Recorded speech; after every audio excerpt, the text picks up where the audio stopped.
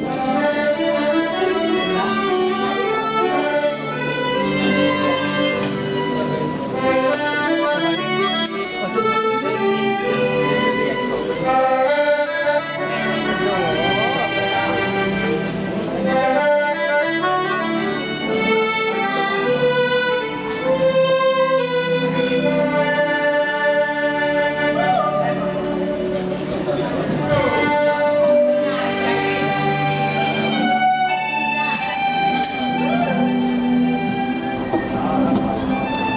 beautiful morning, mud lovers.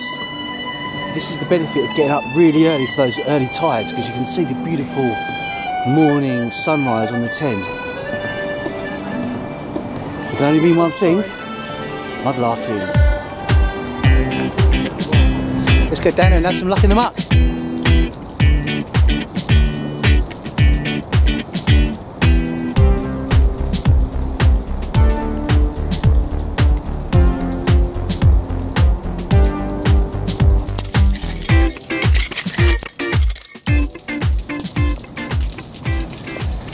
Try detecting this. Look how much iron is here, guys. No way you can detect this. So what we've got here is a bit of exposed foreshore. That's where they put the uh, the old street level or some sort of maybe some mooring or whatever. And under this you've got things eroding out. Now what I've discovered here, what I've discovered there, if you can see it, is a pipe. So I'll see if I can uh, extract it. I imagine it's broken because all this stuff is so heavily um,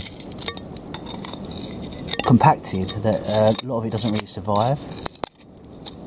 So I'll try and slowly winkle it out and see if there's anything there. I think it's a pipe, pretty sure it is. Give it a little wiggle.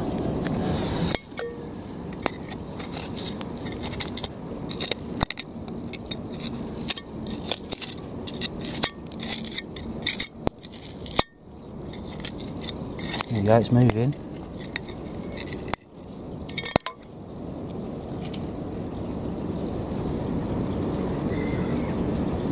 Looks like it might have something written on it there, look.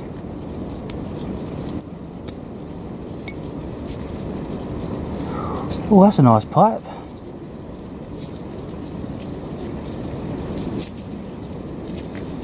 There's something on the side of that. Oh, that's unusual. How weird.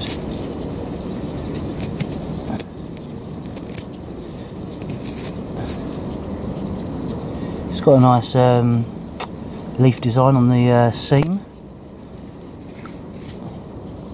And there's something on the other side as well. I'll have to go and uh, take it to the water's edge and give it a proper clean up, so come with me.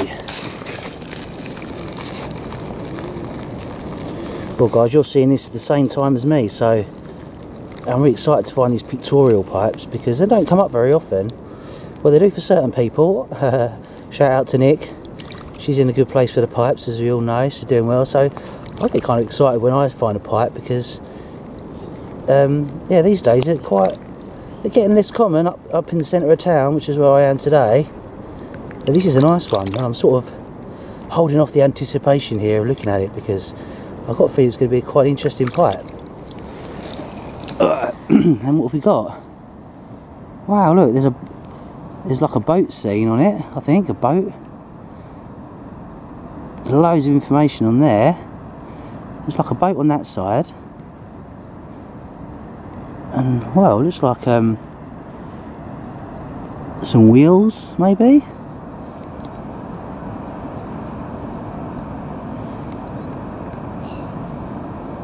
It looks like a scooter. Obviously it's not, but still quite a cool little pipe. Shame it's not like got the whole thing on it, but still it's got the best bit, and that is a really cool side. It's like a boat in um, and it's got some writing on. Never usually see writing on these things. Usually it's just a picture, um, you know, various designs. But this is this is neat. Com it says C O M M, and then a C beneath that. So yeah, I think I, what I'll do is I'll ping a Nick, a, ping a picture to Nick and see if she can help ID it. But but that's that's beautiful. I'm really happy with that.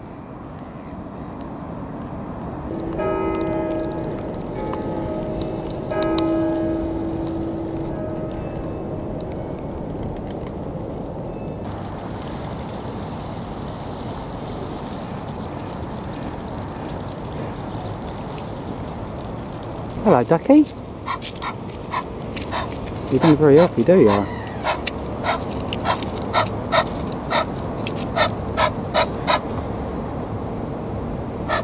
Cool, how close is this bird, eh? Wow. Hello, mate. Oh, he wants some food. Bye. One of my favourite finds to find isn't necessarily that old, but it's quite interesting for me. It's um, lead type, and we find quite a bit of it, but I've just found quite, a few bits in this one particular spot. And uh, come and have a look, I just found one more. So I might show you all the letters I got today. Uh, they're quite interesting, and um, yeah, obviously they were used in printing presses and the like. So I really like this sort of thing. So here we go. Here's, here's one in situ, just there. And isn't that lovely that it's got a little, um, that would have been an L maybe backwards. They're really cool, really interesting, and obviously we used to uh, print books or newspapers. And no one knows really what they're doing here. Maybe the printers decided to lob a load over the side of the Thames. There is an interesting story about the Dove typeface. There was a lost typeface that someone, or a couple of brothers, I think it was, threw him over a bridge. But maybe I'll tell you a bit, a bit more about the typeface of Dove type if, um, if it hasn't already been done. Alright guys, a bit of spot to find for you. Can you see it yet? I'll zoom in for you. And it's just there, look. Little lead token.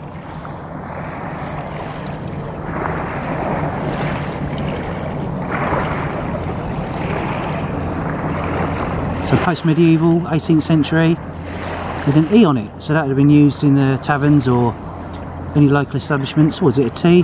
I'm not sure. T, E. Yeah, it's a pretty cute find. Richard's had one up earlier as well, so we'll have a look at that later. This is much nicer than that though. Good one coming up, guys. Another cool little find. Here's half a Georgian wig curler. You saw me find a full one of these a few weeks back uh, when I was at Rich the other time. So check out that video if you want to see a full one. But um, yeah, these would have graced the Georgian's wig to get the curls nice and uh, curly, I suppose. And that might be a little maker's mark at the bottom there. Nice one. Spot the find. It's not a hard one, this one, but look at that beautiful wagon wheel. Still eroding out. Wonder what that would have uh, been trawling in its day.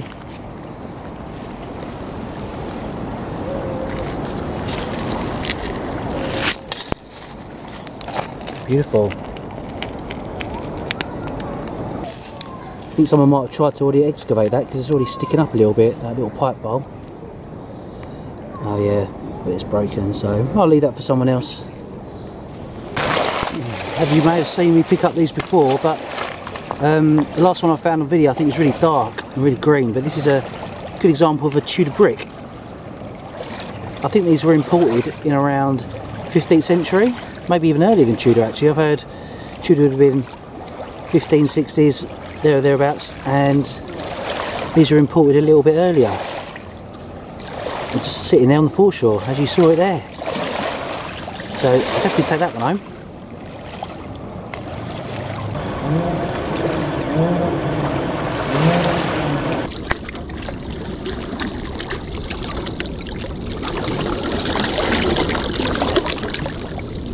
just had up a little coin and I'm hoping, beyond hope, could be a little Roman. It'd be awesome if it is. It's got something on there. Could be, could be anything. So I'm reluctant to clean it too much because it could be quite an old coin. But I'll um, clean it properly when I get home and show you guys what this is. There we go. Look, I don't know if that's upside down or the right way around. The Richard just had a signal as well.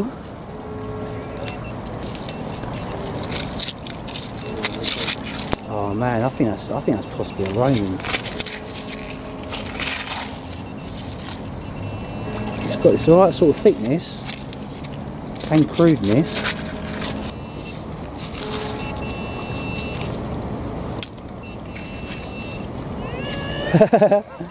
oh no, it was a bottle top.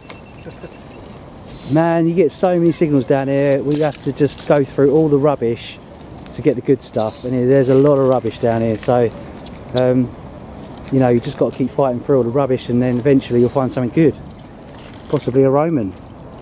Is this the first time that this coin has seen the light of day since it was dropped 2,000 odd years ago? I wonder what it saw back then on these same shores, on these same riverbeds. I wonder what he's traded for, who dropped it, who earned it, was it their wages? We'll never know, but that's what we love about the hobby, bringing stuff up to light and then learning about it and imagining what had happened in the past. Sometimes when I come down the Thames it's really peaceful and it's kind of like uh, having a bit of time out because you know you're on your own and you get to kind of chill out and do your own thing. But in certain places, look, you do feel like a bit like you're in a goldfish bowl. There's loads of people just want to see what you're up to, which is cool, I suppose. But get a bit off putting from time to time when they shout things out. But in the past, when um, friends of mine have been detecting or mudlarking nearby pubs, they've had um, bottles and um, glasses thrown at them, and other people have had people spit on them from over bridges. So we do have to put up quite a lot. I mean, 99% of the people are nice and they'll say hi and, or what you found, what you had up, and so we'll answer them if we're in the mood uh, to talk. But um, yeah, other times you do get a lot of people just staring at you. Oh, you know, they're in London, they're looking at the sights, and we're probably, you know, strange to them what we're doing. So uh, yeah, just a little account there of real life mudlarking because like I said before, it's nice to come down here and chill out and do your own thing. But sometimes you do feel a little bit self-conscious when you've got people just staring at you. But part and parcel, I suppose. You come to the busy spots and that's what you got to, got to expect. So guys, me and Richard finished for the day and this is what we found. So start with my bits. I got about one pound 53 well it is exactly one pound 53 in, in uh, coins modern coins and a euro there or whatever it is um, somewhere. Um, musket balls and a little bullet. Shrapnel, part of a ring.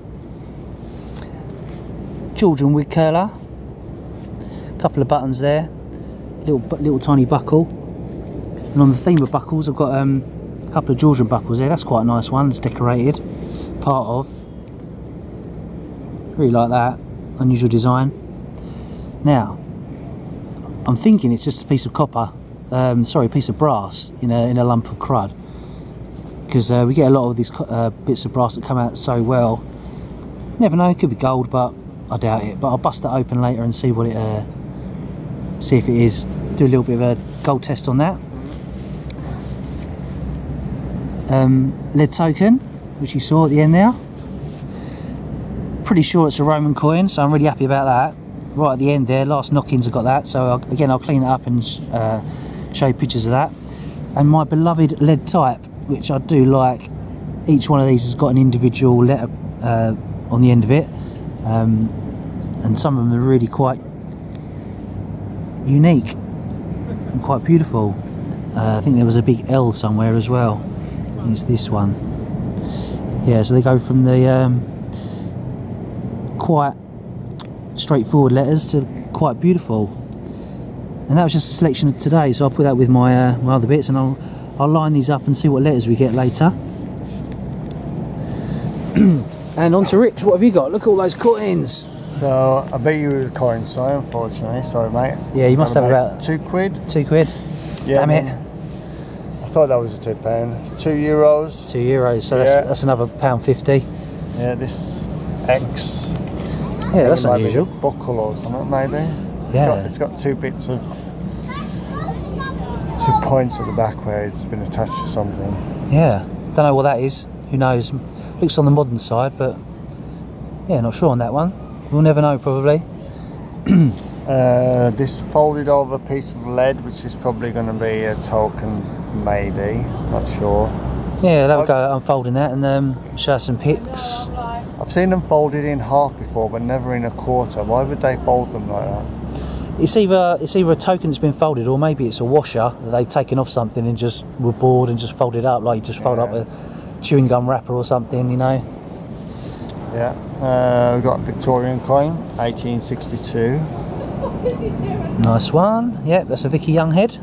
Yeah. Awesome. And I think the star find is this beautiful Victorian token, and it reads on the other side. It starts with. Um, oh no, actually, it starts on the other side. It starts on this side, and it reads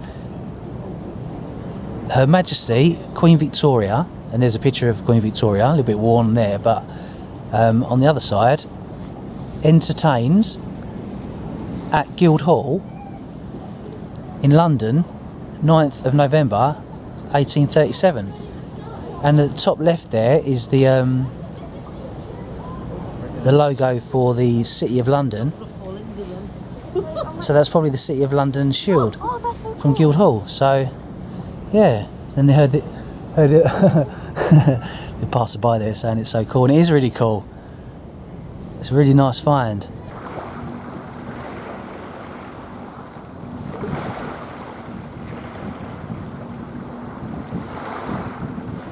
And also on par with that, which I really love as well. Sorry to interrupt you, Rich, but I just had to pick it up here. It's got an S. This is a little lead token with an S and what it could be an I. If it is an I, it's Si and it belongs to me. um, or it's a little cross or something, an S. And on the other side, look, it's got a beautiful heart with an arrow going through it. That's stunning. Really beautiful token that. And it might actually be from the reign of um, Charles because the uh, the motif with the heart with the arrow going for it is, is from that era. So that that could be 17th century. This this token. I love it. So yeah, oh, a good day, and uh, I think that's I think I think I've covered everything. Just don't put my jacket on now about taking it taking everything off first. See you next time, guys. yeah.